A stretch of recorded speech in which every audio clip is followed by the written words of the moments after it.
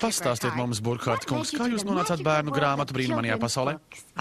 Gribēju kļūt par bērnu grāmatu ilustratoru kopš brīža, kad Playboy atteicās publicēt manus zīmējumus, jo tie bija pārāk neķītri.